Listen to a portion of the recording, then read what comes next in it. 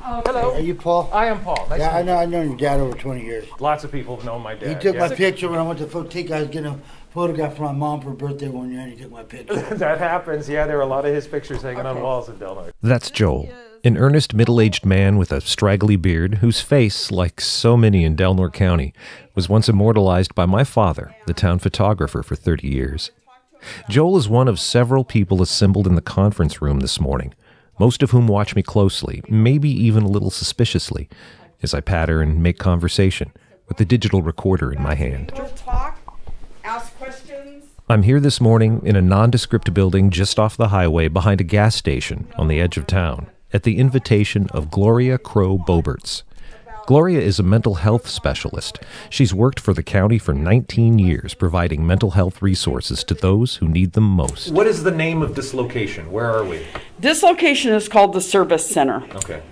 Okay, and, so, and and the goal of this location. What's different from this uh, with this location than what's going on? This downtown? is, um, it's not as clinical as per se K Street. You have more interaction with the clients. They're free to, this is their center. They can, you know, they have their games, they can do their art, they can have, they have access to the clinical staff to talk at any time. Um, and it's supposed to be new and invent, you know, different ways of of doing groups and and and therapy as such. Um, so, you know, going on the field trips. Um, being mentally ill is, you know, it's hard for them to get out and, and feel like they're safe. So they go out with us, um, staff, and we take them to, to different places that they otherwise would not go to, such as Dairy Queen, such as, you know, we took a field trip down to Arcata and went to Mazzotti's, and I know. nice. And, um, you know, they were able to experience going out and doing dining and stuff, and, and that wouldn't have happened. You mm-hmm. know, so it's it's different ways of helping them cope with their insecurities, getting getting them out so that that there is they're not isolating, and you know we're they're this is their safe zone, mm-hmm. and that's part of the reason it's located where it's at, because we are not on the beaten path. So. And while most of us shimmy back and forth in a narrow, though functional band on the mental health spectrum, the people who access the service center face different challenges. Many of them have experienced trauma beyond description. Some have suffered physical injuries that impacted their mental state. Most have struggled for years on the margins of society. So I mean, who who wants to talk about about what happens here and and what you get? from Back in it? the conference room, the ice is melting. Like uh, Tuesdays mornings, we have our life skills group at nine o'clock, and we were supposed to go till ten thirty, but lately we've been having short groups. And Thursday stress management. They have three IDDT groups during the week, but I'm only required to go to two of them. I was going Monday and Wednesday, and then I graduated to the advanced relapse prevention. I go Thursdays now instead of Wednesdays. Mm-hmm. And what's what sort of skills? What sort of what sort of resources do you have here? What do you life what do you skills, learn? Life skills like what? like communicating with people, life skills like taking care of yourself You know, and do what you're supposed to do in life. Mm-hmm. Ke- mm-hmm. keeps us keeps us from isolating. That's Yeah. important, isn't it? That's Learning yeah. coping skills. Isolation. What sorts of coping skills do you? I like to use the rubber band for unwanted thoughts and voices. Ah, okay. So to remind yourself and give yourself a little snap like that. That's Yeah. awesome. So how often do you do you come in? We come just about every day, Every really? Except except for the holidays. weekend. And on holidays. Mm-hmm. Holidays. holidays. Gloria, how does somebody become a part of this group? What you do is if Gloria explains the process, beginning with an assessment at the main mental health office on K Street downtown. Once a part of the service center groups, the clients get access to a number of classes and programs, ranging from life skills classes to group enrichment activities, things like field trips around the community. Gloria even brings her two dogs, Cash and Kane, as service dogs for the clients to interact with. Beautiful dog, Cash and Kane. No, he comes in here and, and um, just goes and visits folks and, you know. Hey, what about That's me? wonderful. That's He's wonderful. lo- Yes, he's lovable. Kate too. He, he actually doesn't take Aaliyah's ha. He's Hi, a my real. name's Aaliyah. Hello, Leah. I've been here, I think, a couple months or a Yeah. year or so. Mm-hmm. Aaliyah is a small, smiling woman who could be just about any age. She explains the role Ha, her threadbare stuffed animal, plays in her life. Yeah, who is that? Who is that you have with you? Hi, my name's Hall. I'm Aaliyah's um, nightmare um, helper. Something that, uh, I have bad nightmares. Uh-huh. I I came here because I had a bad guy who's telling me to do bad things. Oh. Yeah, so that's why I'm here for. They come and So, come here all the yeah. And, time. and how helps you with that? Oh yeah, That's every beautiful. night, every night. If she feeling down, I have to get her back in the groove. That's wonderful. That's really wonderful that you've got a Oh. friend like that. So I'm interested in knowing the, the kinds of the kinds of groups and class that you classes you partake in. Your own person, you talked about it keeps it keeps you from isolating, and, and you talked about specific uh, uh, coping mechanisms. What else have you learned? What other encounters do you get out of out of these groups that help you personally? Keeping With, track of my symptoms. Mhm. That's one thing I do. So how does that work for you? Uh, every night, uh, I just mark down, you know, how the voices were, how my depression is, my energy. That's Shane McCullough, a stuff. thin, dark haired young man who has sat quietly at the back of the room until now. He explains how the service center helps him address his visual and auditory hallucinations stemming from past traumas, including a traumatic brain injury when he was 19. Summers, he says, are the worst, a season of triggers and flashbacks. He works with a therapist at the center on mindfulness and managing his symptoms. When he was younger, he'd wanted to be a musician, a rapper. But after his brain injury, Shane tells me, he didn't even know who he was, let alone what his life's plans had been. Music has helped him come back, and the Service Center provides something every musician can appreciate. Oh my gosh! An three audience. album project. You want to play something for us? I'll hook this up. You recorded this too? Wrote and recorded it myself. Wow. Yeah, I write all my songs. This the these three albums are the first ones I didn't make the beats for. Usually I make my own beats. Mm-hmm. so. You should try it. I I checked the record deal out. You just, you just get some of these artists. You're going to be blown away. Yeah. The ocean spans,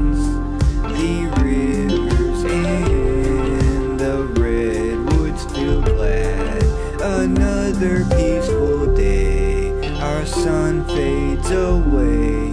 The end of today, watching stars array. The waters flow, see nature grow. The sun feeds the land. We go hand in hand, living off the creatures and man, vegetation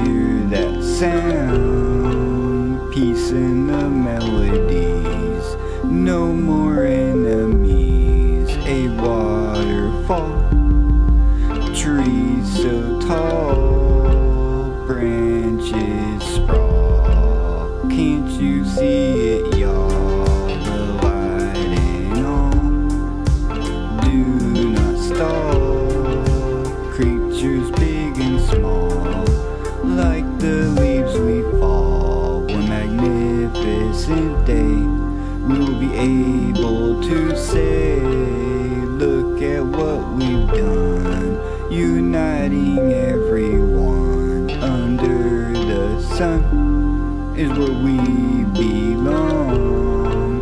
Let's all sing along to this glorious song. The winds blow, grass grows, winds die down, earth spins around,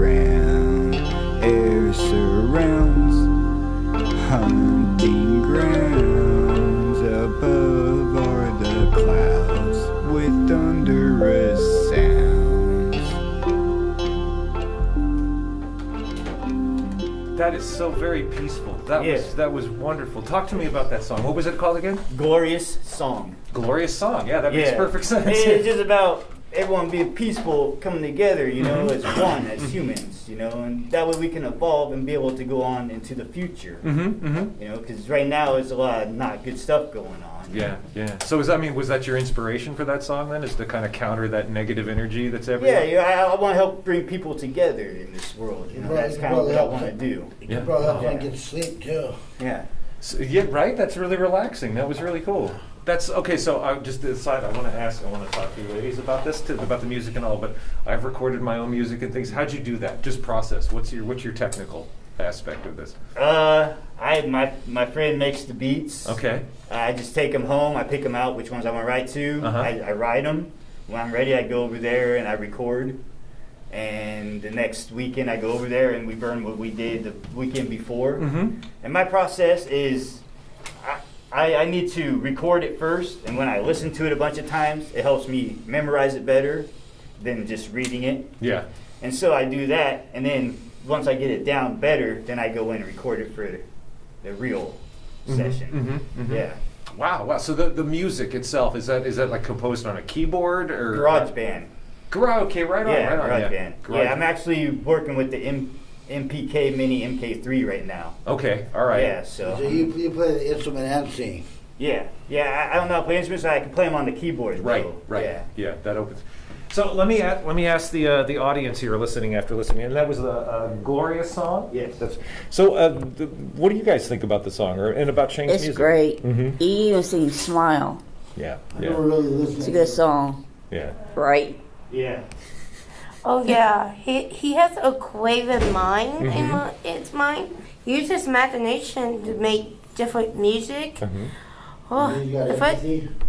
What's that? He's got empathy That's important. That's important. What do you? What's the role of empathy? How do you think empathy helps? because it means you can uh, care what others like or dislike. Yeah. So, uh, do you have other music you like? to Yeah. play? Okay. Okay. This okay. one is out the way. Move out the way. Look out the way.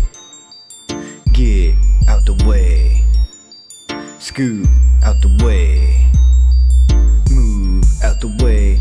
I'm coming through. Look out the way. I'm coming through. Get out the way. I'm coming through. Scoot out the way. I'm coming through. Scarred memories lingering within. Reminiscing in a whirlwind. No coincidence, that's when I give in. It's entirely Is how I maintain. Learning how to program my brain. A shell of a man pursuing his way. That's the reason I'm here today. Will I ever succeed?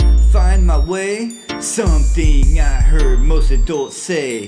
Voices overwhelm me, I was so scared. No one to relate with, too much pain to care. How did I make it? How did I survive? Completely traumatized by grade 5. How do I manage? How do I cope? Mad skills, therapy, medications, walking tight ropes. Move out the way, I'm coming through. Look out the way, I'm coming through. Get out the way, I'm coming through. Scoot out the way, I'm coming through. Move out the way, I'm coming through. Look out the way, I'm coming through. Get out the way, I'm coming through. Scoot out the way, I'm coming through. I've been mad for way too long. I'm clearing my mind and moving along. Looking back, anger's all I see. Time to turn this around with positivity to make this world a better place for you and me. Stop focusing on the negatives that be. There's so much light that surrounds me. Let me shine bright, darkness let go of thee. You've held on for way too long. Now is the time to sing good songs. I wanna help bring people together to unite peacefully with each other.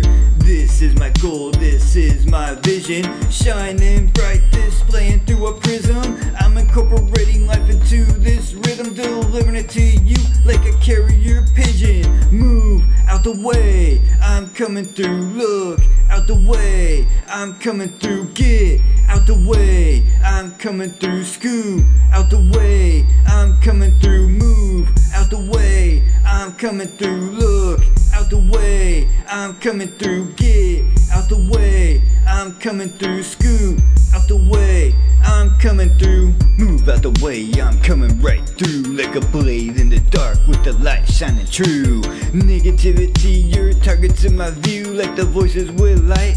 I dominate you. You cannot stop me with the light I bear. In the darkness, my whole life exhaustively scared. Anxiety, panic attacks every single day. You will not control me, never, no way. My ghost found the peace within me. Now clearly my eyes can see why the darkness has chosen me. A broken child with a soul for free. You cannot have my soul, listen what I say. With the light forever, is here to stay. My soul is glowing white from dark gray. Straying from the light, never again, no way. Okay, first off, two things. That's gonna get stuck in my head. Same, same here, man. Right, right. Same. I'm gonna be walking around the rest of the day with that hook in my His head. lyrics really grab you. Yeah. but it's also um, a very unique and cool way to deal was with what he with his mental illness and I I applaud him for that because it brings joy to all of us. There were lots in the in the lyrics there that are it's like raw and real. Like so, um, talk about the place where that song came from. Uh, that just I don't really think about the songs too much when I write. Mhm. Um, they just either I'll hear the lyrics in the uh, melody, like "move out the way." Like when I heard the bass, I heard that. Right. So I write that down, and, and I just start hearing it in my head. And like when I was younger, at, when I was 19, 20, working at McDonald's, they they're really good about it because they knew I liked to write music and it helped me. So I'd be doing I was maintenance, so I could just go in and write some lyrics down real quick, go back to Mhm. what I was doing Mhm. uh, that helped me out a lot doing that. And basically, it just comes to me, you know. Mhm. I don't really think too much about what I'm gonna write. I just put the beat on and it comes to me. Are you are you are you ever surprised after you after you write after you record and you listen to a song? Yeah, I'm very surprised at it. Yeah, I'm like, wow, I did this. Yeah, Like, right. This is really good. And then I bring it in here, and everyone's like, this is really good, Shane. You know, and it gives me a lot of self confidence. Yeah. And uh, they say that my second album I'm working on now, you could hear more uh, confidence in it. Because mhm. at first, this is a lot different than the stuff I used to write about. You know. Yeah. Because How I so? used How to, so? uh, I used to write just to get the, the, the, the voices and the bad thoughts out of me. Uh-huh. So it was more darker stuff. Sure. You know, and I'm not too proud of all that, but I had to go through that to get here. And now I'm actually making good songs, and people enjoy it more. Mm-hmm, mm-hmm. Have you ever written, recorded a song, and then listened to it and, and, and heard what you, you, you'd written and then learned something unexpected about Ex- yourself? Yes, definitely. That's something I was talking about in therapy. Is uh, things go on in my life, and somehow I, I, I'm writing, and it'll come out. I'm like, whoa, you know, and that'll make me think about it, you know, and then I'll change the lyrics around and everything. But So, what do you ladies think about uh, about that track specifically? About that? Uh, It's great. He has a good white voice. I can hear all the words he's saying. And I said, oh, that's it. That's the beat. now you won't be able to see this on, on an audio file, but she was really grooving with that right there. She was uh, giving us a visual illustration. High illustration. five on that. You can hear more of the music of Shane McCullough in regular rotation on KFUG Community Radio. Got my head right with the sun shining bright. Nothing to complain about, I'm feeling alright. Wings are spread, ready to take flight. Okay. So this is another. I can give you a peek back here too. After our impromptu This listening is- session in the conference room, Gloria shows me around the service center, the different rooms for groups or art or just getting away from all the stimuli. As we walk the halls, Gloria checks in with patients, makes plans to give a couple of them rides home. She exudes a sort of mom vibe, and I can tell all the clients in the service center look to her for more than the classes and field trips. Gloria offers connection, and that connection is animated by her genuine care for each of the people who come each day to the service center. Hang on, hon. I'll take you home in a little bit, okay?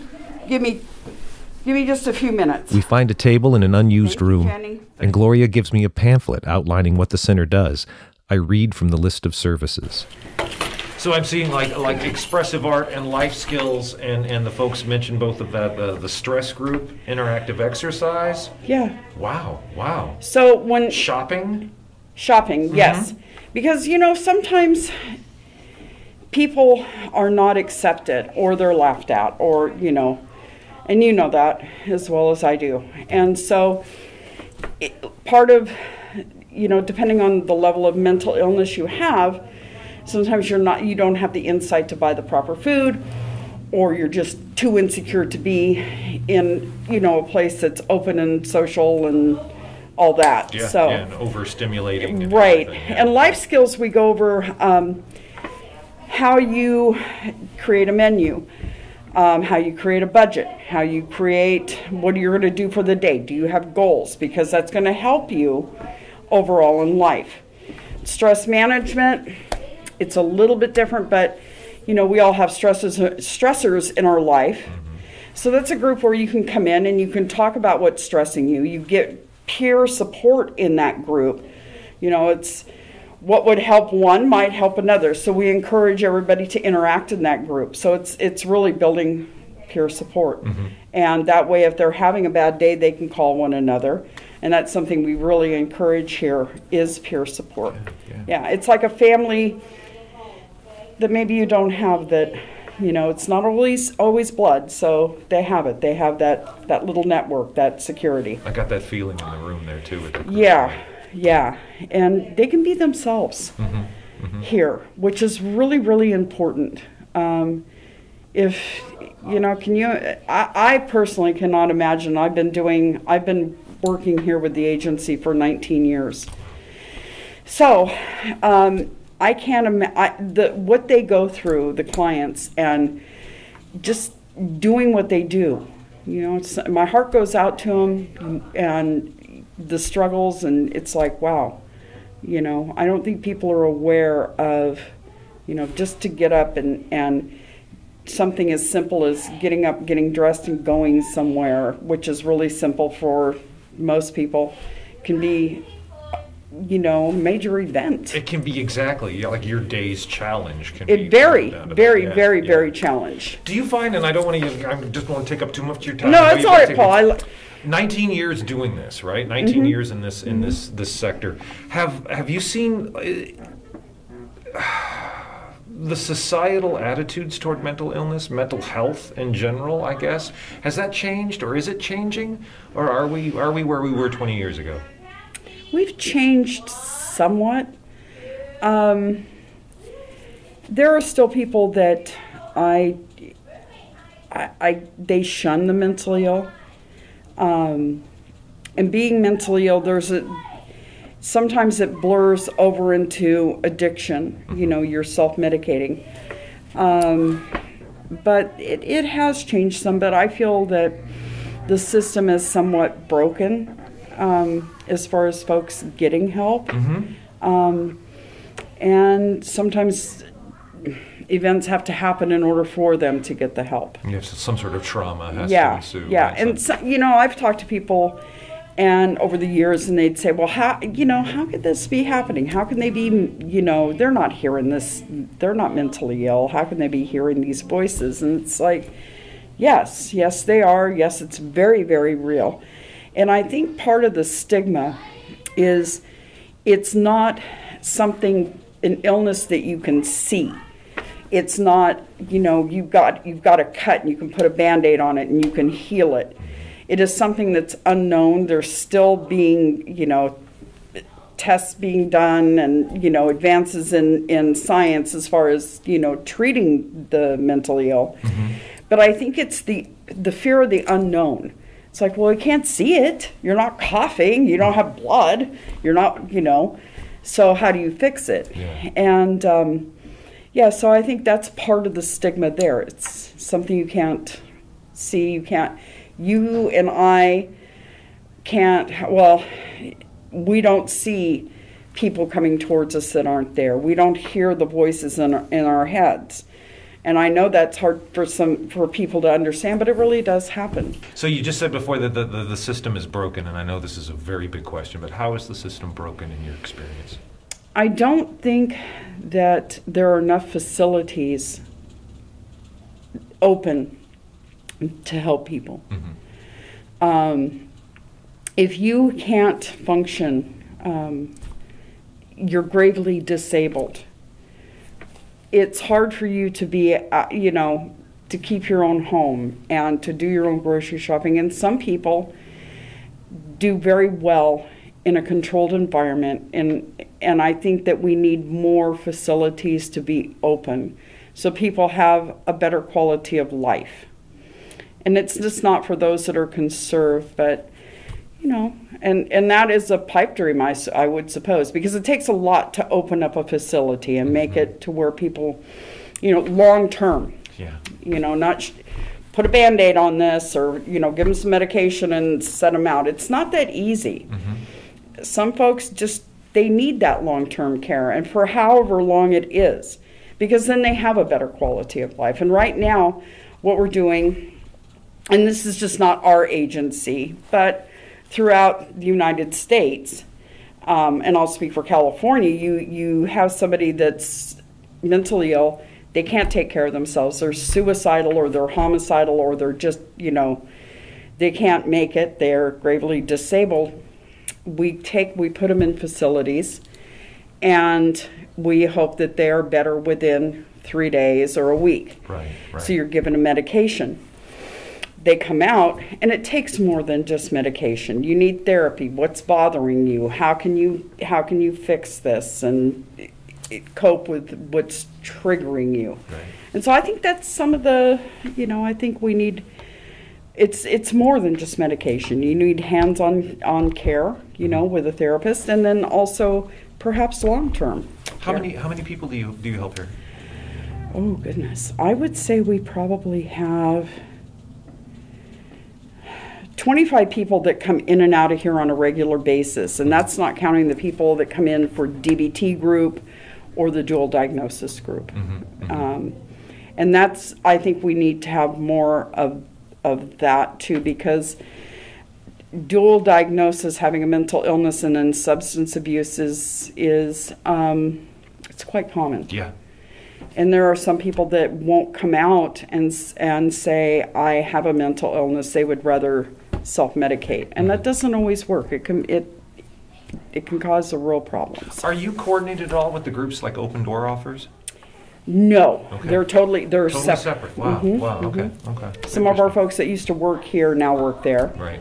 Right. So, which is good. They can carry on and do things that they used to do there or here yeah. over there. And in a community this small too, I think it helps for with clients to have that continuity, at least of personal. Right, like that right, because they know that we all know one another.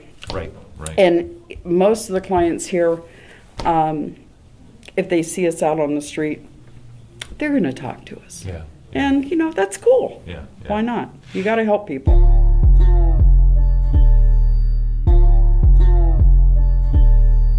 There was a German philosopher, famous guy, you've heard of him, who once said, You can judge the health of a society by the number of parasites it can support. Not the most compassionate phrasing, but the point remains. There will always be people who, for whatever reason, cannot contribute to the common weal. They won't be able to write memos or cash checks or drive buses or land the airplane in case of emergency. They'll stand before seemingly common, benign situations, going to the store, cooking a meal, going to sleep at night, and be forced to face their every fear. Okay, so what do you do with the service? And for this, they will be judged among the least of us. Who is that? Who is that you have? The support systems in place to help them are cobbled together, underfunded, and struggle for priority among the cacophony of other public policy concerns.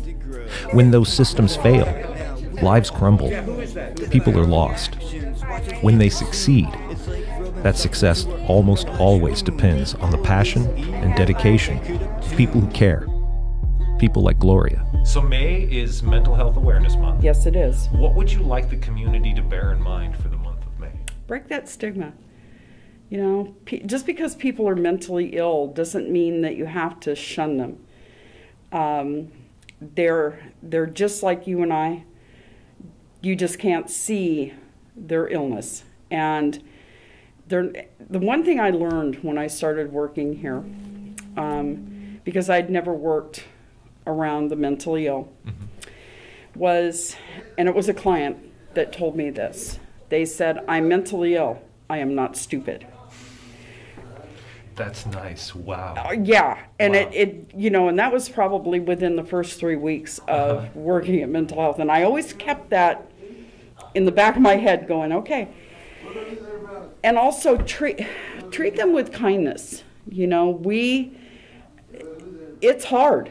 You know, they're sometimes you can pull it to they pull together. Clients will pull it together, and then they just kind of melt away if they're having a bad day.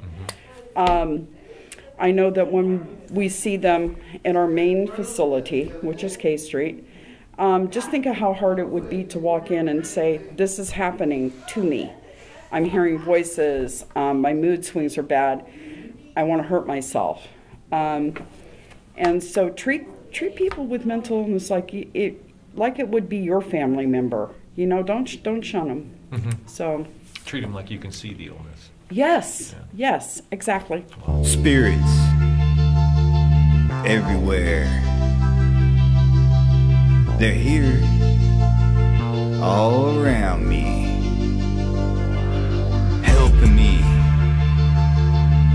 guiding me, talking to me, surrounding me. Their time is now. Thanks to Joel, Aaliyah, Shane, and all the other clients at the Service Center who shared their stories. And a special thanks to Gloria Crow Bobertz for inviting us in and giving us a chance to see all the good things happening every day in a quiet, nondescript building behind a gas station on the edge of town. For KFUG Community Radio, I'm Paul Critz. My mental prison has lasted for years. Waking up from voices, screaming tears. Bad dreams haunting me, reliving all fears. Envisioning my life when the smoke clears. A man at peace, just enjoying the day. Lessons I learned through rhymes I convey. Realizations are causing dismay.